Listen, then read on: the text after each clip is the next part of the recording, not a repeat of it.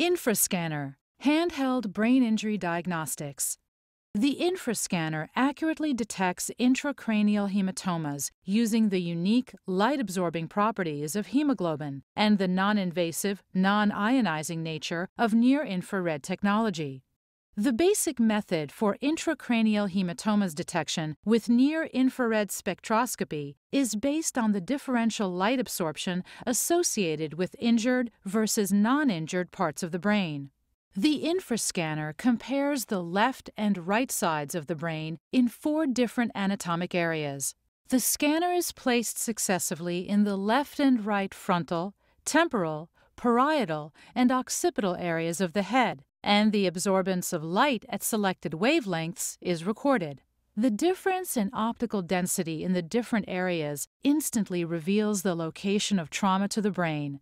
The detection depth is superficial, within 3.5 centimeters of the skin surface, where blood typically migrates in most cases of bleeding. Patient measurement is typically completed within 2 to 3 minutes per scan, and the device can detect hematomas greater than 3.5 milliliters in volume. The infrascanner is not a replacement for a CT scan. It is a simple, easy to use screening tool that can be used to identify high risk patients requiring prioritization for CT scanning and neurosurgical treatment.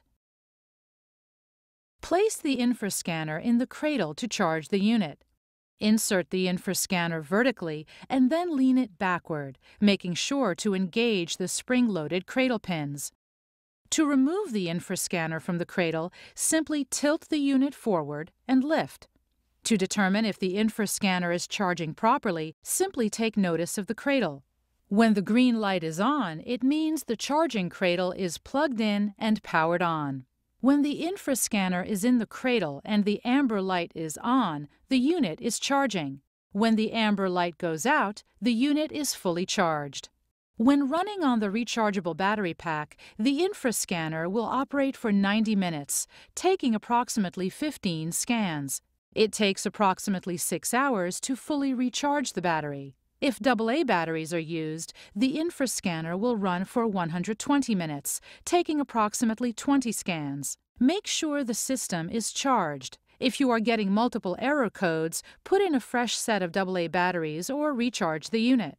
A disposable fiber optic shield is required to power on the infrascanner. To install the shield, simply fit the straight edge groove into the cutout ledge on the front of the scanner and then snap the shield into place on the back side. Wait approximately 15 seconds and the unit will power up. If the shield is left on infrascanner and the scanner is not in use, the unit will start beeping after 8 minutes to alert the user that the infrascanner's batteries are being worn down. To power off the unit, simply remove the disposable shield. Press the center round green button to select Measure. Take note of the scan number for the patient's chart, and then press the center round green button again to select Next. The head diagram appears, and you are now ready to scan. The measurement screen shows a diagram of the top of the head. Notice the location of the ears and nose to help with the left-right pattern sequence. Starting at the left frontal location, press either of the two measurement buttons and immediately release. Be careful to maintain direct and constant contact between both probes and the patient's head after releasing the measurement button. You will hear a beep and the screen will go dark. When you hear a second beep or see the screen flash back on, the scan is complete. There are four measurements that must be recorded on both sides of the patient's head for a total of eight measurement results. You always begin on the left side of the head for each measurement, unless the infrascanner tells you to reverse the order. The two frontal measurements are taken just under the hairline, with the probe closest to the patient's nose lining up directly above the appropriate pupil. For high foreheads or receding hairlines, scan approximately 4 centimeters or 1.5 inches above the eyebrow. The two temporal measurements are taken in temporal fossa, keeping the unit centered over the top of the ear. The two parietal measurements are taken directly above the ears, midway between the ear and midline of the skull. The two occipital measurements are taken on the back of the head, midway between the top of the ear and occipital protuberance, 2 to 3 centimeters or 1 inch above the top of the ear.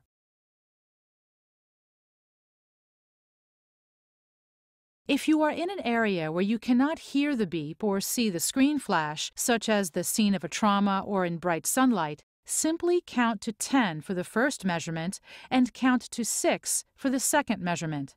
A double beep at the end of the scan indicates an error. If you hear this, check the screen and follow the error code. Press the center round green button to clear the error message and rescan. The infrascanner's near-infrared light comes from a diode laser and reflects back to the silicon detector. It is essential that scans be performed in a manner that ensures constant and consistent scalp contact with both optical fibers simultaneously, and that hair does not interfere with the laser's signal. Make sure no hair is caught under the fiber tips of the shield and that both tips are touching the scalp at all times during the measurement. Good, clean contact with the scalp and firm yet gentle pressure are both critical to ensure an accurate reading and to avoid false positive readings. Always support the head of the patient with the opposite hand to ensure constant contact and patient comfort. If the patient is bedridden, ask a team member to help turn the patient slightly on their side to take the occipital measurements. The most effective way to make good contact with the scalp is to make a part in the hair at the desired measurement location and place the fiber optic tips in the area of exposed scalp using firm but gentle pressure. For more tips on successfully managing different hair types while using the infrascanner, see the Managing Hair tutorial. One feature of the infrascanner is the dual measurement buttons on the back of the device. This allows the user to flip the device to more easily measure the temporal and occipital locations. These areas can pose a challenge due to the shoulder and or the back muscles for athletic and larger patients. Pivot the unit to make ideal contact as needed. The top left-right arrow keys navigate the operator through the infrascanner's on-screen menus. The center round green button is used to select or execute a desired task.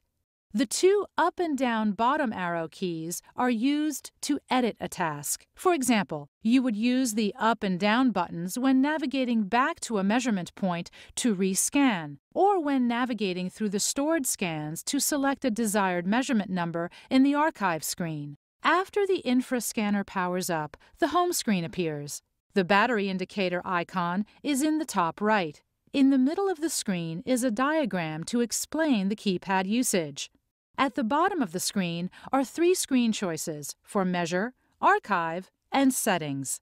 By using the left-right arrows to navigate to the Settings screen and selecting it with the green button, three options will appear Date Time, Brightness, and Battery. Use the left-right arrow keys to scroll through the three settings screens. The Date Time screen displays the year, month, and day, along with the hour and minute. Use the up arrow to decrease the values of the years, months, days, hours, and minutes. Use the down arrow to increase the values. Use the left and right arrows to move between fields. To save a selection, press the center green button. If batteries are removed from the scanner and not replaced immediately, the user will have to adjust the time and possibly the date upon subsequent restart. The battery screen shows the current battery status. The brightness screen allows operators to select night or day by toggling the up-down arrow buttons. Select Save and press the center green button to select the brightness mode you'd like. Please note that the technical button on the lower right is for technician use only. It should not be used in normal operation. When taking a measurement of the patient, the blue square will always tell you where the next scan should be taken, and the black dot indicates where the measurement has been completed. When both sides of one measurement location have been completed, a green circle, all clear, for a hematoma negative reading, or a red circle, danger for a hematoma positive reading will show. The numbers below the F, T, P and O on the head diagram show you the relative optical density difference between the left and right sides. Anything over 0.20 will show a hematoma positive or red danger reading. The rings seen in the red circle are added to help colorblind users read the measurement correctly. Anything 0.20 and below will show a hematoma negative or green all clear reading. Please note that because of the natural breakdown of hemoglobin, infrascanner's near-infrared signal system will not detect a chronic hematoma not of recent origin, and the device is not intended for that use. The archive screen is where measurements are stored. By selecting View and using the up-down arrow key to select the scan to be reviewed, the scan measurement will be the number followed by the year, month, day, hour minute, and second. When the measurement number is selected, the head diagram, along with the relative optical density number at each measurement point, can be reviewed. High signal means too much ambient light. Shield the light guide area with your hand and repeat measurement. Low signal means hair may be trapped under the fiber optic tips. Comb or wiggle the tips to get better contact with the scalp. Consult the Managing Hair tutorial to troubleshoot specific hair types. Always rescan. Saturated start in reverse order means the infrascanner is potentially detecting a hematoma. Follow the directions and rescan, starting on the right side of the head, reverse order. Time out means the infrascanner needs more time to analyze. Move a couple of millimeters over and rescan. Be sure to use symmetrical placement on both sides. Unstable signal means there were variations in the signal level indicating an unsteady reading. Be cautious to use equal pressure so that both tips are placed evenly on the head and hold your hand steady. Low battery means it is time to replace the AA batteries or recharge the battery pack. The most common mistakes that can cause error codes are low battery, non-uniform pressure, pressing and holding the measurement buttons when trying to initiate a measurement, non-symmetrical location for readings, hair under the fiber optic tips, too much overhead light, hair gel or hair weaves, and remember, whenever you get a hematoma positive or red danger reading, rescan up to two additional times to verify. Different hair types pose different challenges to achieving ideal scalp contact. One technique that will be consistent regardless of hair type is the need to gently comb or wiggle the fiber optic shield tips in the measurement locations to ensure there is no hair trapped under the tips. Different pigments of both hair and skin reflect light differently and can therefore affect the measurements. Getting good scalp contact with the probes is key to a successful scan. Please note that InfraScanner cannot scan through wigs, weaves, or toupees. Some general managing hair tips include for high foreheads or receding hairlines, measure approximately 4 centimeters or 1.5 inches above the eyebrow for the frontal measurements. Properly parting the hair to reveal the scalp is one of the most important and vital techniques for proper operation of the infrascanner. To more effectively part the hair, go against the direction of hair growth. It allows for cleaner and more defined parts. When parting the hair in the occipital region, make the part the entire way across the area with both hands. Hold the hair up with one hand, then pick up the infrascanner and take both measurements. Let's explore some different hair types and tips for getting a successful scan every time.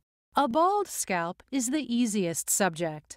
Simply place the fiber optic tips on the eight measurement locations, making sure to maintain contact with both tips on the scalp throughout the entire measurement until you hear the beep or see the screen flash. Very short, military, or crew cut hair may be difficult to part, but using the combing technique with the fiber optic tips through the hair should achieve good contact. Be sure not to press hard when combing through the hair to avoid trapping any hairs under the fiber optics before pressing the measurement button. Long light hair is no more challenging than short hair, except that there is more of it, which can become trapped under the fiber optic tips. Pay special attention to making clean parts at the same location on both sides of the head. Ensure the tips are placed directly on the scalp exposed by the part and measure. For fine hair or flyaways, consider using a water-based gel like ultrasound gel to keep the part defined while you measure. Curly hair will also pose challenges to the user. The hair may be thick or fine, but almost always has more tangles than straight hair. The best technique is to use index fingers on both hands to make a part in the hair. Secure the hair with your non-dominant hand, then pick up the infrascanner and wiggle the probe tips into the part. Be sure to secure the head with the hand that is holding the hair, releasing the hair if necessary to ensure constant contact with the scalp throughout the measurement. Natural African hair is often quite thick and can be easily caught under the probe tips. With darker pigmentation both for skin and hair, pay close attention to establishing an extremely clean part for the measurement location. Use both hands if necessary to make the part. With short, curly dark hair, for example, it may be difficult to make a part in the hair. Consider using a water-based gel like ultrasound gel to define the part more clearly. Certain hairstyles actually make measurements easier because they expose the scalp. However, care must be taken because of the height of the cornrows and braids. Ensure the probe tips maintain consistent contact in the spaces available with these hairstyles. Rotate the unit if needed to make optimal contact at each measurement location. To ensure symmetry, if you rotate the unit on the one side, make sure to rotate it at the same angle on the opposite side of the head. It is important to clean the infrascanner with an antimicrobial wipe after each use. To ensure the unit is completely clean, follow this simple procedure. Remove the disposable shield. Each disposable shield is approved for single patient use. A new shield must be used for each patient. However, you may clean each patient's individual shield with an alcohol swab after each use, and you can use the shield up to 10 times. Make sure to pay special attention to the tips of the optical fibers while cleaning. Next, clean the infrascanner by wiping it down completely with an antimicrobial wipe, remembering to clean the screen and the measurement buttons on the back of the unit. All measurements are automatically saved on the infrascanner. Each measurement is saved as a text file. The name of each data file is the date, time, and serial number of that measurement. To copy the files to your PC, simply connect the Cradle's USB port to the PC's USB port with the provided cable. Place the infrascanner in the Cradle. Press the blue Cradle On button to turn on the infrascanner. The Active Sync or Device Center window will pop up automatically. Click on the Browse the content of your device under File Management. A Windows Explorer window will open. Double-click on My Windows Mobile-Based Device. Drag and drop the HS Data folder located on the storage card to the PC. This folder contains both the data files and the patient database. You can also copy individual data files from the HS Data folder. FDA cleared and CE marked infrascanner has been studied at some of the most distinguished teaching, specialty, and pediatric hospitals throughout the U.S. Early screening for intracranial bleeding in patients with traumatic brain injury is critical because the timing of neurosurgical intervention is a significant factor that can positively or adversely impact patient outcomes. Now, for the first time ever, the application of near infrared technology can be applied in a portable, handheld device that empowers clinicians to know what's happening inside the human skull, even before symptoms of brain injury appear. Infrascanner puts the power to heal in the palm of your hand.